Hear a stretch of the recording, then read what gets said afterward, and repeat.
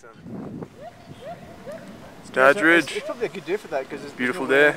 It's nice and bright. A brief No, no. myself. Just take a video.